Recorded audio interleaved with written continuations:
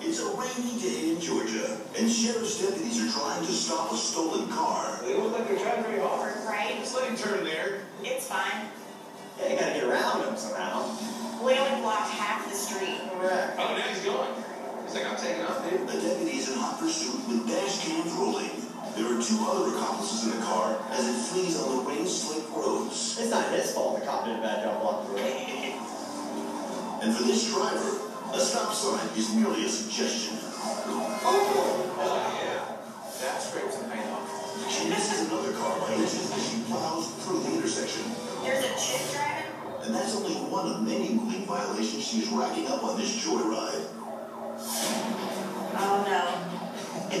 The chase proceeds through town on the wrong side of the road at almost twice the speed limit. Oh, gosh. In the rain.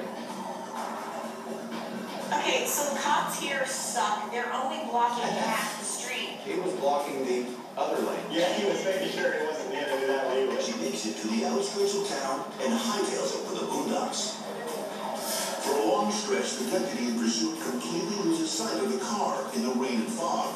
This is like Jim Oh, it is. It's just up around the corner. It's like Jim I don't think so. Oh no. But a few miles later,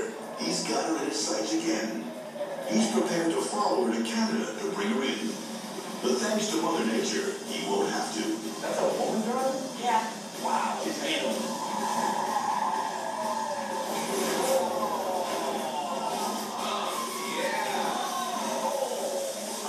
Let her husband she threw out? She is jonesing right now.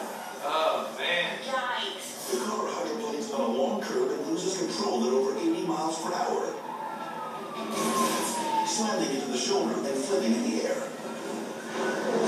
And that's why you should wear a seatbelt. I don't think it would matter in that crash. You could have at least held her inside. Wow. I mean, Yeah. Wearing that seatbelt. I didn't know. Another suspect in the car follows the driver's lead and attempts a hasty exit as well.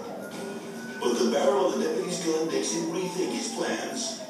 Oh, Jesus, she's not. People, they're not going to do anything. Amazingly, no one was seriously hurt. The driver suffered only a broken collarbone. The bad news? She wasn't wearing a seatbelt. And that's going to mean serious points on her license.